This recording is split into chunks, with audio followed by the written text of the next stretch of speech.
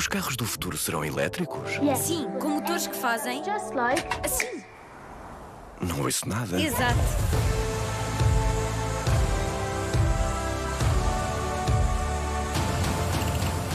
Peugeot 208.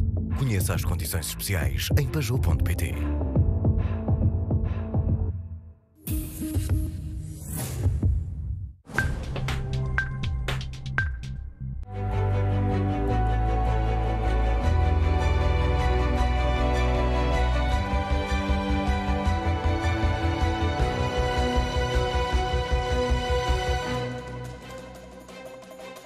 Muito boa noite, bem-vindos à edição da noite. As farmacêuticas que estão a produzir as vacinas contra a Covid-19 vão ser responsáveis pelo transporte até Portugal. O armazenamento e distribuição eh, vão ser eh, decididos pela Comissão de Vacinação. A Ministra da Saúde assegura que tudo estará pronto para administrar as vacinas logo que cheguem a território nacional. Neste momento há três vacinas na fase mais avançada. A União Europeia estima adquirir 2 mil milhões de doses.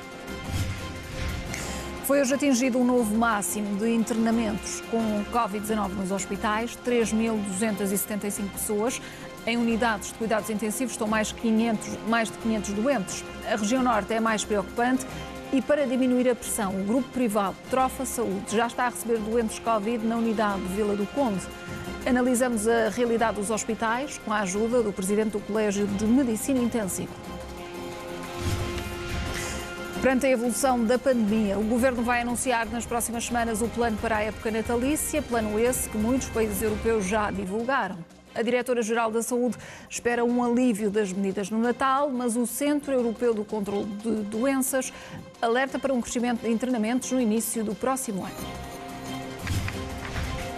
As notícias sobre as vacinas vão ser tema do comentário habitual de José Miguel Júdice de hoje assim como a gestão nacional da pandemia. Em destaque nas causas desta noite também vai estar o polémico acordo com o PSD e o Chega nos Açores e o orçamento do Estado.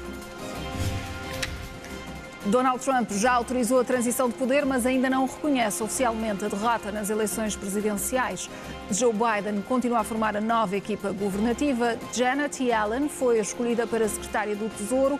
É a primeira mulher no Departamento das Finanças do país. Analisamos a situação política nos Estados Unidos daqui a pouco com o comentador da SIC, Miguel Monjardim. Para já, o mundo aguarda com expectativa a chegada das vacinas e Portugal não é exceção, mas há toda uma logística a considerar. Sabe-se já que o transporte das vacinas Covid até Portugal deverá ficar sobre a responsabilidade das farmacêuticas produtoras. A vacina da AstraZeneca é a que oferece menos dificuldades. Pode ser transportada e armazenada entre os 2 e os 8 graus Celsius, tal como muitos outros medicamentos. Assim que sabe que o laboratório farmacêutico já acordou o local onde será armazenada, uma antiga fábrica na zona industrial de Coimbra.